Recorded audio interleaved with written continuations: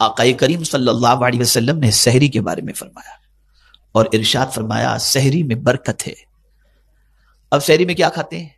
जाम, कीमा, कलेजी, पता नहीं, मलाई, सब जायज़ खा सकते हैं मतलब मैं, आप सोचते होंगे कि मौलाना क्या बोल रहे हैं। खाएँ, जो चीज़ अल्लाह ने हलाल की, मैं कौन होता हूँ रोकने वाला या मना करने वाला? लेकिन ये भी जरा ढूंढ लो कि हुजूर क्या खाया करते थे। सिर्फ़ इफ्तार में खजूर का इस्तेमाल ही सुन्नत नहीं, शहरी में भी खजूर खाना हुजूर की सुन्नत मुबारक है। शहरी में भी खजूर खाओ। शहरी में भी खजूर खाओ। और उस वक्त जो दुआ की जाती है, अल्लाह उस दुआ को कबूल फरमाता है। बहुत मुबारक साथ है। शहरी के लिए बेदार होना उस वक्त तहजुद और अगर वक्त कम है तो आदमी दुआ कर ले, वो दुआ की कबूलियत का वक्त है। बल्कि हुजूर सल्लल्लाहु अलैहि वसल्लम फरमाते हम में और अहले किताब के रोजों के दरमियान फ़र्क यह है कि हम शहरी करते हैं, वो शहरी नहीं करते थे।